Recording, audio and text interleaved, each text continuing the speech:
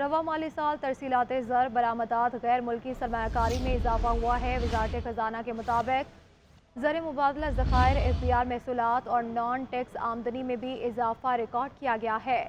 ترسیلات زر میں گزشتہ مالی سال کے مقابلے میں تین آشاریہ پانچ فیصد کا اضافہ ریکارڈ کیا گیا ہے۔ اسی پر مزید بات کریں گے بیورو چیف اسلام آباد میاں شاہد سے۔ جی میاں شاہد، بتایا گا سرمایہ کاری میں کتنا اضافہ ہوا ہے؟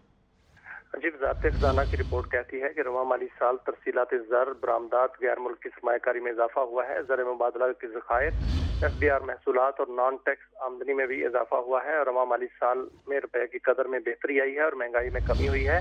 ترسیلات زر میں گزشتہ مالی سال کے مقابلے میں تین اشاریہ پانچ فیصد کا اضافہ ریکارڈ کیا گیا ہے اور برآمدات میں گزشتہ مالی سال کے مقابلے میں دس اشاریہ چھ فیصد اضافہ ہوا ہے۔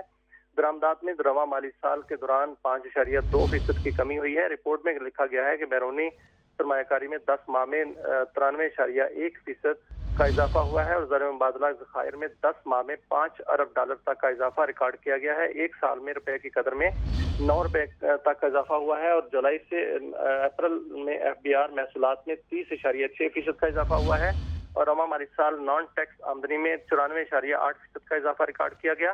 اور رواں مالی سال مالی خسارے میں چھبیس اشاریہ آٹھ فیصد کا اضافہ ہوا اور رواں مالی سال میں مہنگائی اٹھائیس اشاریہ دو فیصد سے کم ہو کر چھبیس فیصد پر آ چکی ہے جی۔ ٹھیک ہے میاں شاہد، بہت شکریہ۔